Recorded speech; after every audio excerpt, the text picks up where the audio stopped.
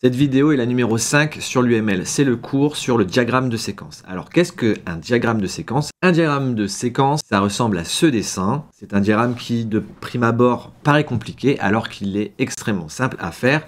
Il est même plus simple à faire que le développement. C'est tout simplement l'ordre de nos lignes de code qui vont se dérouler de l'instant 0 à l'instant X avec le temps qui défile. À partir du moment où la personne va commencer à utiliser notre application jusqu'à la fin de toutes les fonctionnalités possibles, le déroulement de ces lignes de code, on appelle ça un séquencement. Il y a un lien très fort avec les autres diagrammes de l'UML. C'est pour cela qu'il faut maîtriser avant le use case et le diagramme d'exigence, ainsi que les scénarios qui font référence à ces diagrammes. Il faut aussi maîtriser le diagramme de classe, la vidéo UML numéro 3, pour pouvoir comprendre le diagramme de séquence. La vidéo va se comporter en deux parties. D'abord un petit rappel sur ce qu'est l'objet, puisqu'un diagramme de séquence permet d'échanger des messages entre les objets et avoir un ordre de séquencement entre les objets.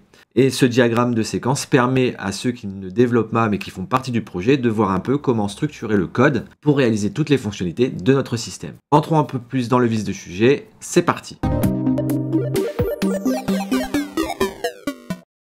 Petit rappel sur le développement orienté objet. Eh bien, un objet, c'est un modèle en informatique qui peut représenter n'importe quel objet dans la vie courante. Moi, je prends dans le cadre de mon exemple un objet tout à fait banal qui est la cafetière. Un objet est déterminé par des propriétés ainsi que des fonctionnalités. Les propriétés, c'est par exemple son prix, la couleur, le modèle de l'objet en question. Et les fonctionnalités, eh bien, ça va être ses fonctions. Par exemple, pour une cafetière, ça serait allumer, chauffer ou s'éteindre. En objet, les variables de code sont appelées des propriétés et les fonctions sont appelées des méthodes. Donc au niveau vocabulaire, voilà, on va parler de propriétés et de méthodes. Ce sont ni plus ni moins que des variables et des fonctions à l'intérieur de l'objet. Au niveau du modèle, on essaye de modéliser les objets de la façon suivante. Un cadre bleu avec un titre, on met les propriétés euh, en haut et on sépare le cadre par les fonctionnalités, donc les méthodes, les fonctions de code qui sont propres à chaque objet. Par exemple, dans ce cas, on a une cafetière qui a un ID, un prix, un modèle et une couleur et les fonctionnalités allumer, éteindre et chauffer. On aurait aussi par exemple dans notre programme des dosettes avec le nom de la, le nom de l'objet, dosette, un ID, un prix,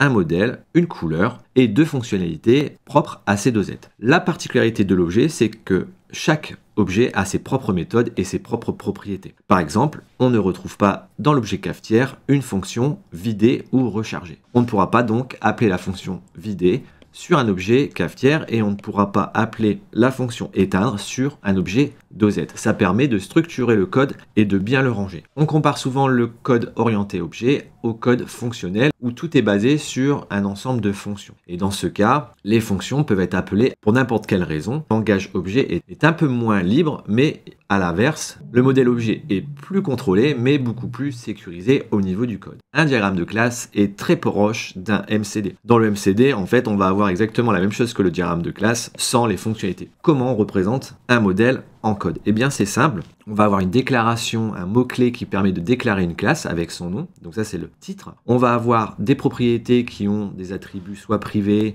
soit publics ou soit protégés pour les trois types de propriétés. Et en dessous, on aura les méthodes qui seront, elles, pareilles, publiques, privées ou protégées. La règle de base en PHP, c'est qu'une classe égale un seul fichier pour pouvoir s'y retrouver dans son code. Le code source, qui est développé comme ça en classe, est représenté par ce modèle euh, dessiné qu'on retrouve dans un cahier des charges. Le cadre bleu, en fait, ça va représenter ce cadre bleu ici. Le titre, vous voyez, c'est juste la déclaration de classe. Les propriétés sont juste ici, donc ce sont des variables hein, qu'on appelle des propriétés. Et ensuite, on a les fonctions. Et donc, on va se retrouver avec exactement le même modèle. Donc, il est très facile de passer d'un code à un modèle et inversement. Il est très possible, facile de passer d'un modèle à du code. Il suffit de reprendre les fonctions, les propriétés, le titre et vous avez, voilà, code. C'est très important pour la suite parce que le code, les diagrammes de classe vont permettre de réaliser le diagramme de séquence. Un petit rappel sur les classes et les objets. On doit définir les objets avant l'exécution du code, c'est-à-dire qu'on doit créer un plan on va dire par exemple qu'une cafetière est définie par telle propriété et a telle fonctionnalité. C'est une déclaration, on appelle ça une classification. Par contre, dans son code, à un moment donné, on aura peut-être plusieurs cafetières. Et dans ce cas-là, on sera obligé de créer plusieurs, alors on n'appelle pas ça variable ni euh, tableau, on appelle ça des objets. On devra créer plusieurs objets qui sont euh, totalement indépendants l'un de l'autre, même s'ils se ressemblent. Donc on dit en fait que les objets sont instanciés d'une classe. C'est-à-dire que par exemple, on va avoir la classe cafetière et à chaque fois qu'on va créer une cafetière, on aura un objet cafetière. Donc ici, par exemple, dans ce code, je crée cinq cafetières qui sont, elles, indépendantes mais à la naissance, à la création de l'objet, la cafetière est identique à sa voisine. On va dire que ce sont des jumelles, mais elles sont indépendantes. Pensez à des jumeaux euh, humains, ils naissent et se ressemblent. De base, ils ont les mêmes propriétés, les mêmes formes, les mêmes fonctions, mais après, la vie de chacun de ces jumeaux va être influencée par euh, certaines variables extérieures, et du coup, on aura vraiment des entités qui sont propres. Et bien là, c'est pareil pour les objets. On a beau les créer, ils sont tous identiques, mais ils vont évoluer au fur et à mesure du temps qui passe dans le code. Donc voilà, les cafetières sont peut-être jumelles à ce moment, mais elles sont toutes uniques dans le code. Et quand on a un objet, eh bien, on peut appeler les fonctionnalités de l'objet. Hein. Rappelez-vous, sur une cafetière, je ne peux pas appeler les fonctionnalités de l'objet dosette. Je peux appeler les fonctionnalités allumer, chauffer et éteindre de la cafetière. Donc les fonctionnalités, ce sont les fonctions qui appartiennent à la classification de l'objet. Au niveau du code, on appelle ça instancier un objet, c'est-à-dire que on a la définition de l'objet, ici une cafetière avec les propriétés, les méthodes, et je peux créer autant d'objets que je veux qui sont uniques chacun, mais qui possèdent la même classification. Je peux donc allumer, ça va appeler la fonction allumer de la classification cafetière. J'ai créé l'objet cafetière numéro 1. J'allume la cafetière numéro 1, c'est-à-dire que j'appelle la fonction de l'objet numéro 1 et pas celle de l'objet numéro 2. Je peux y mettre des propriétés et dans ce cas-là, les propriétés d'un objet ne seront pas les mêmes sur un autre objet. Par défaut, on peut avoir des propriétés, donc à la naissance, à l'instanciation d'un objet, ils ont les mêmes couleurs, par exemple le même modèle, mais on peut le changer par la suite. Alors au niveau du cycle de vie d'un objet, à la naissance d'un objet, c'est-à-dire quand on part d'une classe et on en crée un objet, on appelle ça l'instanciation. Ensuite, pour l'utilisation, et bien sûr cet objet, on appelle les méthodes qui sont définies dans la classe cafetière. Alors attention, on appelle bien la méthode sur l'objet et non pas sur la classe. Et puis la fin de l'objet, c'est la destruction, puisque quand on crée un objet, c'est comme quand on crée une variable, on va allouer de la mémoire, et s'il n'y a pas de destruction et de vidage de cette mémoire, à la fin le programme va prendre trop de ressources. Du coup, il existe un mécanisme de destruction pour libérer la mémoire de son ordinateur pour que les programmes ne prennent pas trop de ressources mémoire. On appelle ça la destruction d'un objet, en anglais delete et le nom de l'objet. Donc on fait bien un delete de l'objet en question, c'est-à-dire que si on crée 5 cafetières, on peut supprimer la cafetière numéro 1, mais la cafetière 2, 3, 4 et 5 sont toujours présente dans le code. On va maintenant commencer à parler de cycle de vie et du coup de séquencement. L'instanciation, c'est la création de l'objet. L'objet est créé et ensuite on appelle les méthodes les unes après les autres pour réaliser le programme. Donc ça, ça dépend du scénario de la fonctionnalité. Et du coup, on a l'instanciation en haut de l'objet on a l'utilisation des objets et des méthodes. On va voir en détail après le diagramme de séquence. Et puis à la fin, on aura la destruction de l'objet. Le diagramme de séquence se lit de haut en bas. C'est la première chose à retenir. Donc l'instanciation, l'utilisation d'appels de méthode, la destruction, la fin du programme ou la fin de l'utilisation de cet objet dans le programme. L'objet lui sera en haut et la ligne de vie sera en pointillé. À l'instanciation, c'est le constructeur qui est appelé il est appelé automatiquement. La première chose, c'est que je crée une nouvelle cafetière donc de couleur rouge et de modèle T80BX. Et donc, c'est dans les propriétés de cette copie de classe qu'on va retrouver les variables tb80 qui va être ici, le modèle va être ici, il va avoir, il va être attribué du coup à la propriété il-même. Donc le tb80 va se situer ici dans la variable privée de la cafetière qui est bien sûr ici. Hein. puisque si je crée un autre objet 110 vers T70BX, donc un autre modèle vert, et eh bien ici, le TB70BX va être dans l'autre variable. On va passer maintenant à la partie 2, comment créer un diagramme de séquence en début de projet ou comment à partir d'un diagramme de séquence réaliser son code orienté objet. Un diagramme de séquence se présente de la forme suivante, donc on a vu les objets qui sont au-dessus et ça, ça représente ce code source-ci, d'accord? Et donc il y a bien une relation forte entre le diagramme et le code. Il ne faut surtout pas commencer à faire le code pour ensuite faire le diagramme de séquence parce que ça n'a pas d'utilité. Si votre code n'est pas bon, vous aurez un diagramme de séquence qui est pas bon et un projet qui n'est pas bon. Le principe de faire l'analyse en premier, c'est de contrôler à l'avance avec les acteurs du projet que tout va être euh, OK. Donc le diagramme de classe doit donc être fait avant de coder pour réaliser une analyse correcte du projet. Au niveau du diagramme de séquence, quelques vocabulaires à apprendre. Ici, nous avons la classe, nous avons la ligne de vie. Donc ici, nous avons trois. On a trois classes, hein, la classe index, la classe cafetière et la classe BDD dans cet exemple. On a les lignes de code, donc en bleu, généralement les cadres bleus qui descendent le long des lignes de vie, ce sont les, les lignes de code que l'on ne voit pas dans le diagramme de séquence. Un diagramme de séquence n'est pas là pour montrer du code, il est là pour montrer des appels et des échanges de messages entre les objets selon un ordre bien précis qui va du début du programme tout en haut jusqu'à la fin du programme tout en bas. On a aussi des appels de fonctions ou des messages qui sont envoyés d'objet à objet. On a des fonctions internes qui sont des fonctions propres à un objet ou propre au code principal, le main. Notez que l'appel et l'échange d'un message est une flèche noire entière, mais qu'un retour de fonction est une flèche en pointillé. On a des conditions if, else, comme n'importe quel langage de programmation.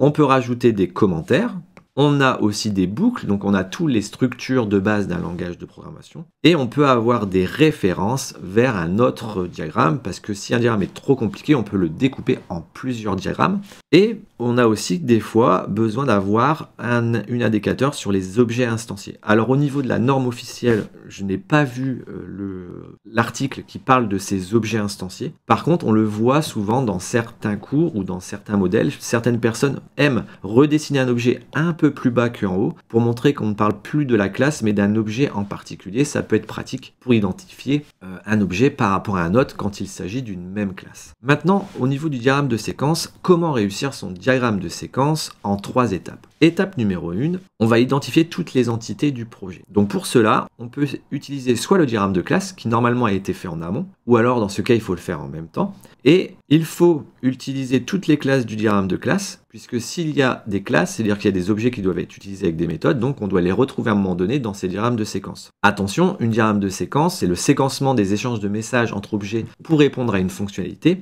et du coup, ça n'utilise pas forcément toutes les classes. Mais si on regroupe tous les diagrammes de séquence, à un moment donné, toutes les classes doivent être utilisées. Si le diagramme de classe est incomplet, on peut utiliser le MCD, parce que le MCD a une relation très proche, comme on l'a vu dans les anciens cours. Les tables du MCD sont généralement les mêmes entités que le diagramme de classe. Donc c'est très simple, on repère ces entités et on les place en haut en forme de classe, donc c'est un rectangle bleu, et on trace nos lignes de vie tout en bas. Donc ça, on peut le faire au brouillon pour déjà commencer. Étape 2, il faut savoir qu'un diagramme de séquence est valable pour une bulle de son use case. Donc il faut reprendre la bulle que l'on souhaite en diagramme de séquence. Un diagramme de séquence doit être fait après le use case, c'est-à-dire le diagramme des cas d'utilisation. Lorsque vous avez votre use case, il est possible à partir de ce use case de prendre une fonctionnalité et d'en tirer son diagramme de séquence. C'est ce qu'on va voir ici dans cette séquence. J'ai décidé de prendre la bulle se connecter. Un diagramme de séquence a forcément un scénario, puisque si vous avez bien fait votre analyse, vous avez fait votre diagramme de cas d'utilisation et vous avez donc le scénario associé à ce diagramme de cas d'utilisation. Donc pour moi, dans mon cas, se connecter, Voici le scénario qui est utilisé. Le user ouvre son navigateur, le user accède au site avec l'adresse HTTP, le user saisit un login et un mot de passe, et le user est redirigé vers la page d'accueil. Point alternatif, si le login est incorrect, on réaffiche le formulaire. S'il y a une erreur, donc si, les deux cas ne sont pas bons, alors affichage d'un message d'erreur. Eh bien, le diagramme de séquence, c'est assez simple, on va reprendre ce scénario et on va le dérouler pour réaliser toutes ces étapes grâce aux fonctionnalités de nos objets. Donc le user ouvre son navigateur, eh bien c'est simple, c'est le user se connecte à l'application, il n'y a pas vraiment d'interaction, il démarre l'application. La page index.php dans le cas d'une application web se charge.